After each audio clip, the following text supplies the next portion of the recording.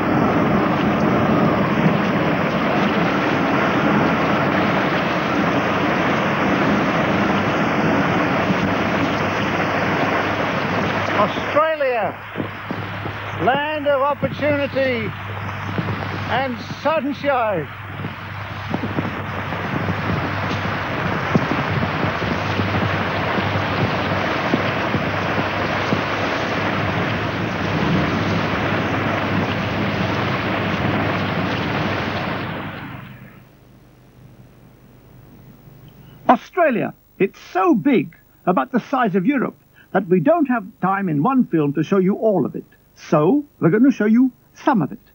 My some of it. This is a small part of New South Wales. We'll be visiting Sydney and Canberra, which are famous, and also Woy Woy, Wagga Wagga, Grong Grong, and Gumly Gumly, which are a little less famous. However, we start our little journey 40 miles north of Sydney in a very small place indeed. Wondabyne halt, unknown in the annals of railway history. I'm here for one unique reason. I want to show you it. It starts here, and there's no, no ticket office, no porters, no gents, no ladies, and it finishes here. There's nobody here. There's nobody anywhere. There's only me waiting for a train. Wait. Hist! I hear the Gosford flyer. Any minute now, I have to stop it. The only way is by doing this. Even then, sometimes, it might not.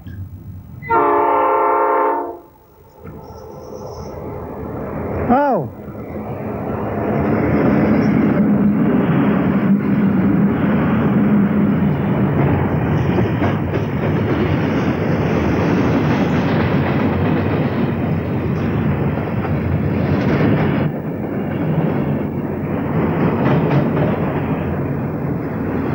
Editing, I managed to catch the right train. I wanted to show you Wondabyne because, in many ways, it sums up my part of Australia. We're only just north of the Sydney suburbs, and yet we are in dense virgin bush, the magnificent Ku-ring-gai Chase, which is named after the Aborigines who once lived here. People can and do get lost in it. The Aborigines got lost terminally, but I suppose that's, in quotes, progress. So we ask the question, what am I doing here? Well, in 1950, my parents emigrated out here. I thought they were mad. However, in 1959, I came out to see them, and I went mad. I fell in love with the place. I couldn't get enough of it. The old steam trains took two and a half hours from Sydney to Woy Woy. You could sit on the rear balcony and view at leisurely pace the distant blue hills and creeks flowing into the Pacific. Stations 2 KON, Hornsby Strathfield on Sydney Terminal, number 1 platform, a four-car double-deck service. The journey now only takes an hour in these gleaming air-conditioned trains. I suppose that's progress too. I come out here from England every two or three years. My dad died in 1969, but Mum still lives in this little town about 50 miles north of Sydney.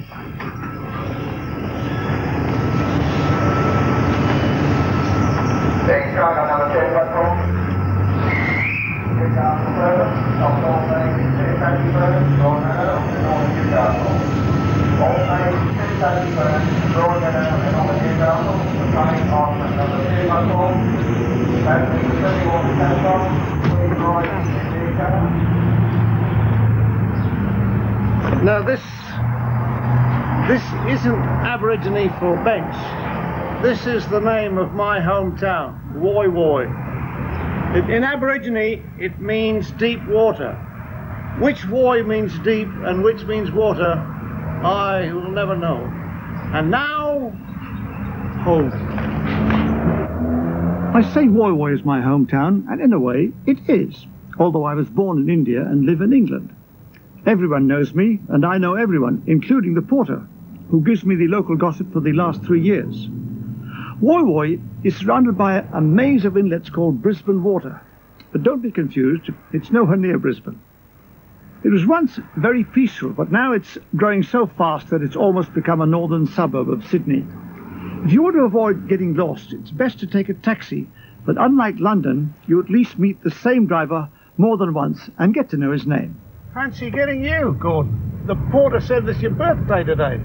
Now, who told you that, The Spike? porter on the Did he? platform, yeah. Oh, dear, oh, dear. He said the next cab in the rank is Gordon's. I said, I don't believe it. I Yeah. don't believe it. Quite a coincidence, Spike. I didn't expect to see you this time of the day. Tell you what, I speak to my mum on the phone and she tells me that everything's moving ahead very fast here.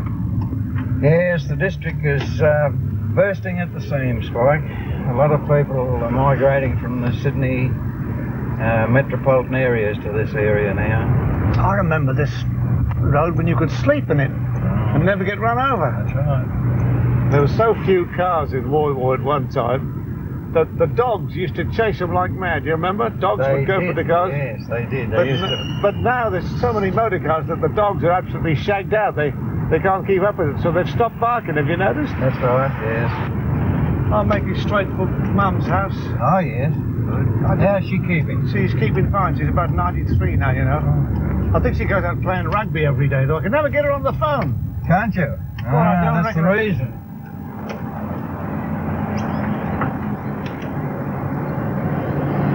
Can I have some tea, Mum? Nice of you to recognise me. Oh, well, I should hope I recognize my son. oh, lovely to see you. Lovely. I'll sit down and get some tea, huh?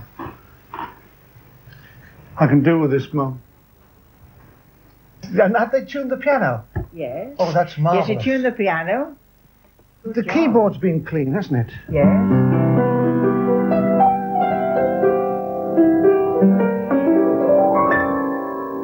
Mm, yeah, it's still very hard to play, though, isn't it? He, he altered it. He altered it so that the tension would be better.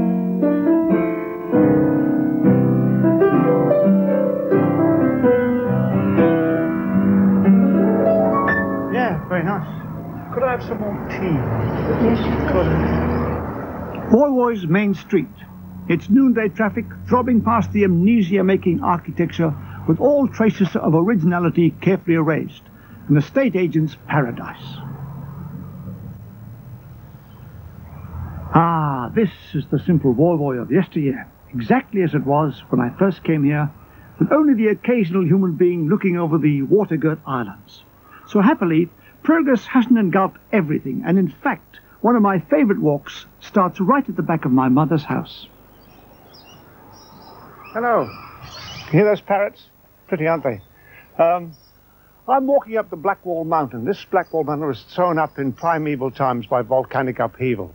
Uh, the thing is, I'm going to go up this mountain. I'm going to meet you at the top because it's got a very beautiful view. I might stop on the way. There you are. I told you I would.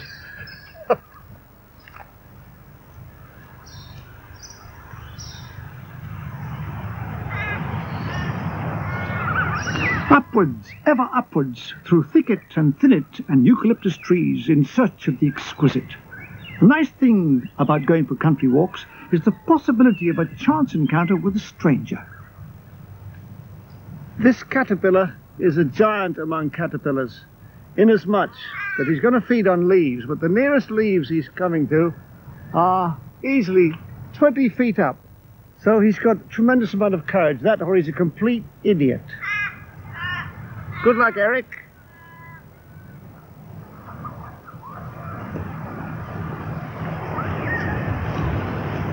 As you can see, Woy Woy and its environs are a complete mix of unspoilt bush and spoilt suburban development. Down there is where Ettalong meets the Pacific Ocean. Well, this is the reward for climbing the mountain. It's a stunning view and this, where we're sitting now, would have been an Aborigine lookout. They might even have seen Flinders, Captain Flinders, who came up here in a longboat in about 1791, I think it was. You might have seen him come up here, go right the way around the island here like this, further inland. Of course, then all this civilization hadn't reached here.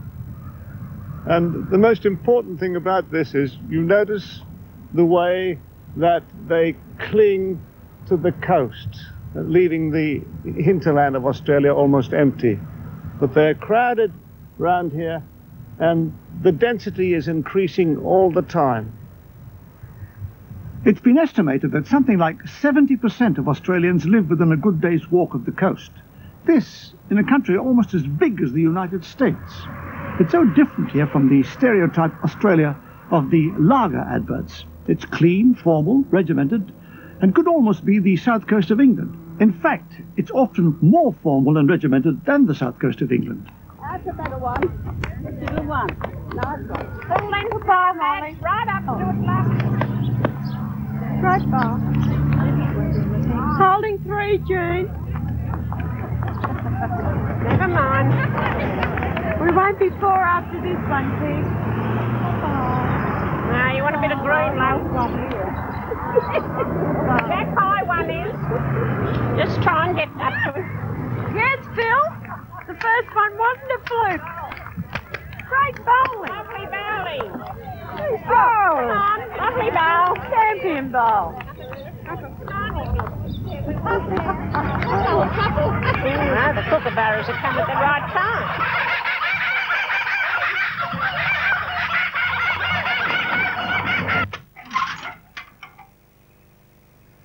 But in the midst of all this, there's a little sanctuary I like to visit. It's a private garden that plays host to a huge variety of wildlife, most of which can only be seen in cages in England. In Australia, exotic wildlife is in abundance. But even round Woy Woy, the native flora and fauna are slowly being destroyed by dogs, cats, and people introduced from Europe. No, just a bit. Wildwoods, as it is called, is the creation of a Mr. and Mrs. Hicks who built their own house and carved this garden out of a dense bush some 50 years ago, creating an oasis in a suburban desert. Well, there's nobody in the Central Coast that I know of who's doing this sort of work. You're the only one. And apart from that, we've got to worry about getting food all the time for them. You know, they they eat about They eat the bread, the cheese, and I have the bread and fat.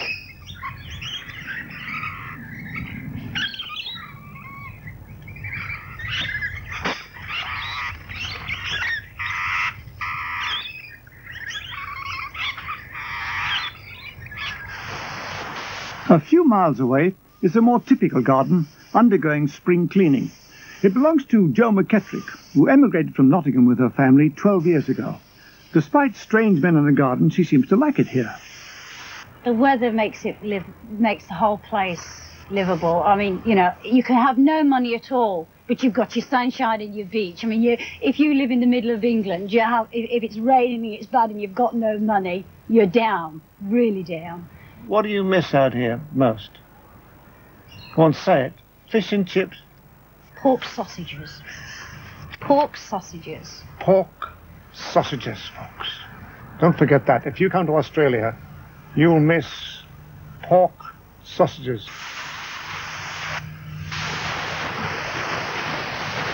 What's that noise down there? Oh, that's the uh, flick man. He comes and sprays the garden and the house. flicking things off, is he? Oi! When you finish down there, can you bring us some of your specimens? Not yours, not yours, no. Some of the animals. Hippopotamuses in jars, things like that. What insects have you got then? Well, they come and they spray uh, for uh, cockroaches, redbacks, funnel webs. Ah, wait a minute, hold it now. You loved Australia, but then suddenly These you got all these bum biting things. Quite frightening. Is this normal? My mother's got a garden. She never has it sprayed. Oh, she's fortunate. We had the cat sprayed.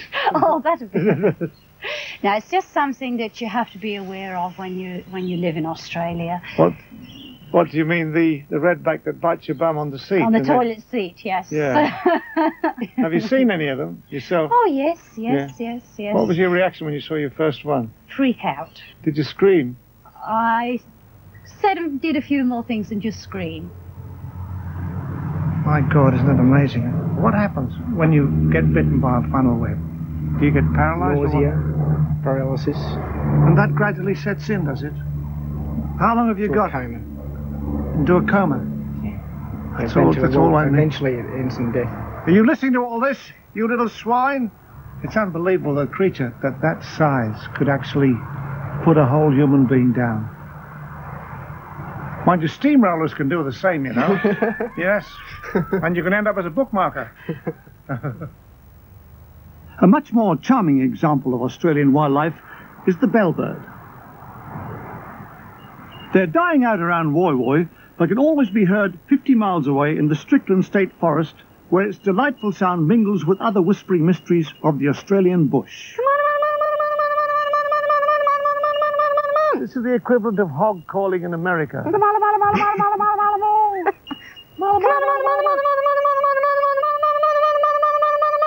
The rough translation of this is, Where the bloody hell are you? Mala Mala, because you're not getting it quite clearly, and you're not a kangaroo, this wouldn't interest you, but apparently kangaroos are very keen on Mala Mala Mala Mala Mala Mala Moo. I'm sure you you might like to write that down on a piece of paper uh, for further reference. I mean, you never know if you come up against a kangaroo, you shout Mala Mala Mala Mala Moo, and things go well for you. Milk, Min. Come on, Min. Come on. My old friend, Beverly Spears, a manic conservationist, lives here. I must tell you a funny story about Mindy. Tell me, And is, is this the uh, the accepted way of, Of carrying, that's the way they ca- carry. kangaroos? Is that That's right? right. This is Bluey. There was a Curly, but Curly died. And Bluey got very thick Wait and minute. They're a different colour. These are red kangaroos. They're the red. Reds, they grow to about Six feet? yeah, eight feet, the males, and the females, which I've got here. This is a female, the big one. Yes. And the other one is a male? Yes, this is Bluey. I see. What time do they come into season and what time do they start to mature? Blue, Blue, come on. Blue, come on. Come on, Mindy. Once we get her drinking. Here, Min, you want, you want some, some milk? There you are. Goodness me, come on, Blue. Blue, Blue, Blue, Blue. This is the one that'll kill for milk. If you give another one a bottle, she'll jump all over it. Tell me, how do you come by them, first of all? Well, anyone that goes out there shooting, believe it or not, they've got a conscience, and they usually bring back the joeys in the pouches. These joeys are the results of murdered, murdered mothers. mothers. Is that Yes, right? Exactly. And they bring them back to the wildlife, and the wildlife bring different foster homes, like me and other people that look after them. So Come you're going to be lumbered for the rest Come of your on, life Blue. with an increasing number of kangaroos. No, no, the wildlife actually prefer to take them out and they re- release them. Would you believe Oh, it? they do take them quite a way out, do they? They release them where they were found to be Oh. shot again. Oh, my this is God. what I'm fighting. There's no sort of concept of wanting to be concerned about kangaroos at all. I mean, even though it's the national emblem, I would say that kangaroos have a pretty rough time in this country. Where all These these are all girls orphans and which have been brought in from mothers who've been killed, where's all these mostly on motorways. As the day wore on, Beverly asked me to join her and her husband for cocktails in their regular evening ritual. Well, I, I, I really think there's too many here. I believe in birth control, and I um I definitely consider. Are you getting a bit of smoke there? I'm all right, thank you. I definitely think that they shouldn't bring any more people in. There's too many people here now. Actually, you should sit upwind. It's all right. I'm trained to be a bronchial asthmatic. Well, then you ought to go live at oh, Marmora. I see that, by the way, that you haven't completed the bathroom. No, we're putting an inside and an outside bathroom. My husband's completing the bathroom, and I've got the most gorgeous old-fashioned bath. But I get claustrophobia in there. I just love this. I see. So basically, what you you settle for a bath, and the walls will follow. Will follow. Yes. Actually, we're thinking about having compacted earth walls.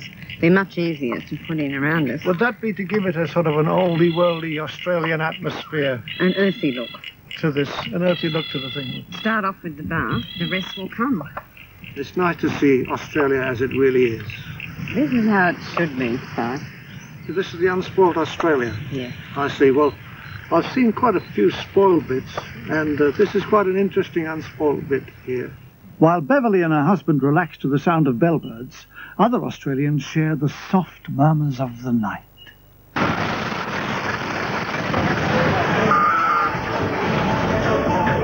Australians will bet on anything. even flies crawling up a window pane or raindrops crawling down. In New South Wales, though, they don't have to because of the poker machines, or pokies, the Australian version of the fruit machine. They're all over the place. Into them pours a fortune, although few ever win one, even though the jackpot can be as high as $5,000. A person will book a machine and stay with it until it pays off. In one year recently, the betting turnover in Australia was three times as high as its defence bill. In one of these establishments nearby, you can even cash your pension on the spot. By my calculation, the average British pensioner would blow his weekly income after 28 minutes play. How often, how often do you play the game? Very odd. Often. Do you come in every day? Oh, no. We come down about three times a week, Three times a week. Would you say that was addictive? I mean, Yes. could you knock it off? Are you an addict? No, I'm not an addict. Or- or that- He's not an yes, addict. I'm no, an addict. You're the addict. I'm How, the all right, how many times a week do you come in there? Seven. Seven. That's really six. great. You can't come Six. more. I, my wife won't let me out on Sundays. Is that right? How much would you say in a, in a week would you spend on the pokies on an average? Uh, 40 $50. Forty, fifty dollars, yeah. Three times a week, about a hundred dollars. A hundred dollars. Yeah. And you can afford that. Yeah. Yeah. 500 a week. Five hundred. Lend us a quid, would you? 100. Wait a minute, I've got some.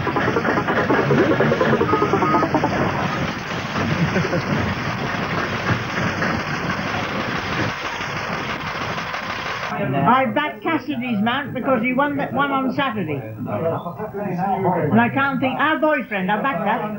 I backed that. The Melbourne Cup is for Australians the Derby and Grand National rolled into one.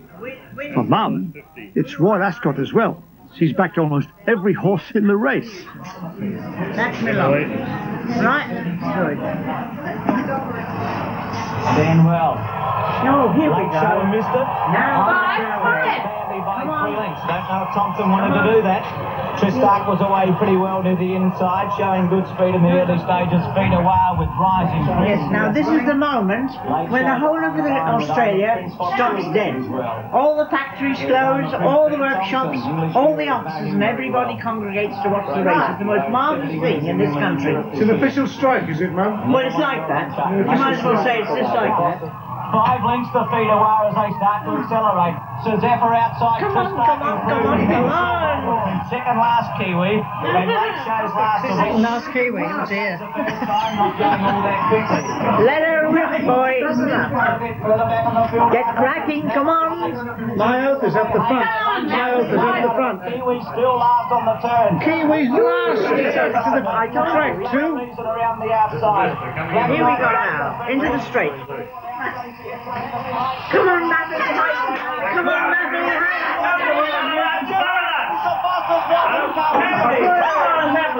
Uh, with also Peter Warren, and I'm a Prince and Tristarc. Next time. I don't know what came into you. My word, that's a marvellous race. That was great. Wasn't that good, Mari? Yes. Hey?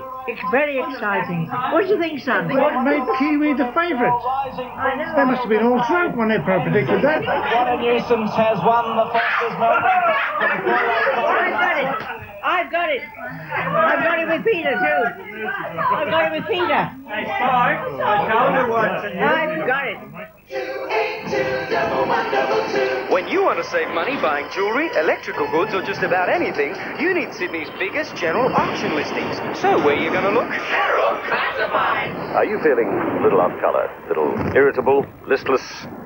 It could well be caused by the air pollution. Bondi Beach, one of the most famous beaches in the world. Here you can enjoy miles of sand, blue skies, and the highest recorded rate of skin cancer on Earth. And Australia is not slacking in other areas. Liquid shit is pumped into the sea, and when the wind and tide act in harmony, it all floats back towards the shore. It's an amazing thing. It took Europe, what, 2,000 years to reach this standard of pollution, and yet it only took Australia 200. Australia, a nation on the go, and it's all going in the sea.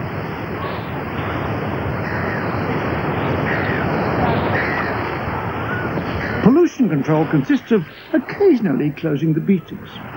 This is, of course,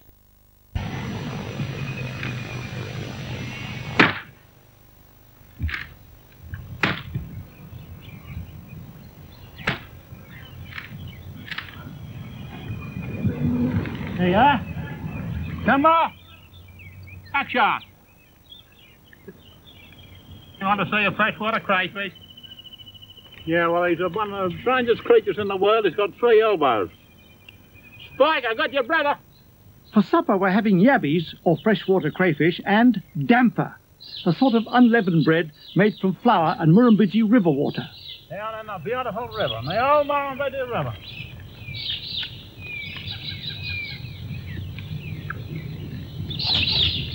You've never had a damper made for you, have you? No, Bill. You're going to see how it's done now. All with right, then. these. All right. With his taloned claws. Damper was gobbled up by thousands of bushmen in the days before self-raising flour. It's part of Australian folklore, although most Australians have no idea how to make it. It's getting that nice, consistent feeling. I... What does this remind me of? Well, of course, we needed a few day- dates and raisins. Where's uh, Bones? Give us a bit of water, Bones. I'll get some water, Bill. No tap here to get water out of, Bill.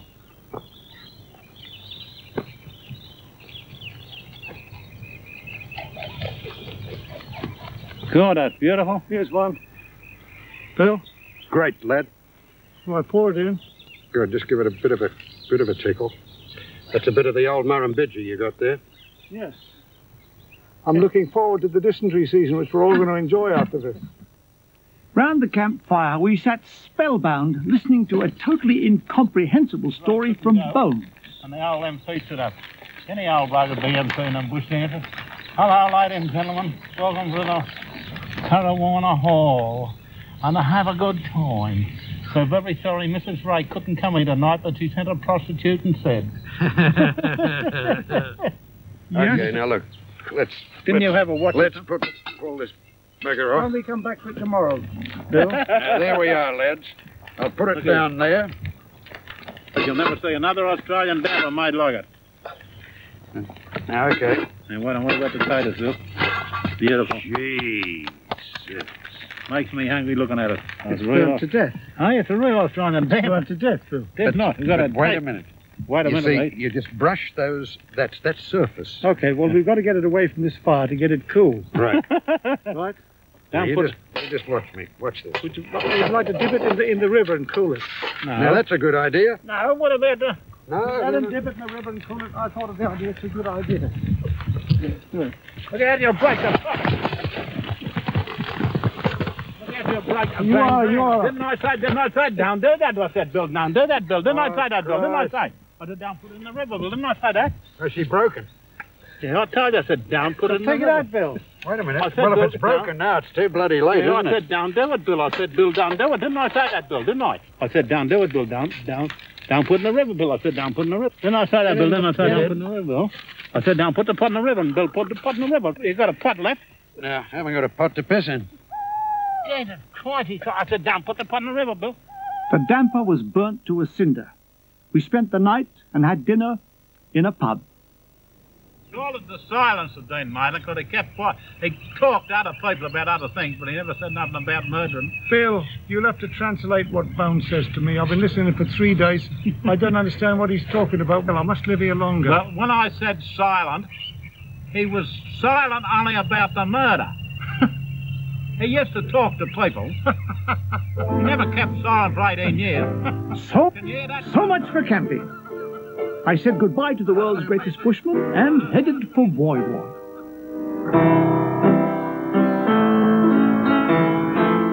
So that's it. My Australia. Brother Desmond had come up from Sydney, where he lives, for a farewell sing-song. Goodbye, Desmond. Goodbye, Mother. Goodbye, Woy Woy. Goodbye, Australia.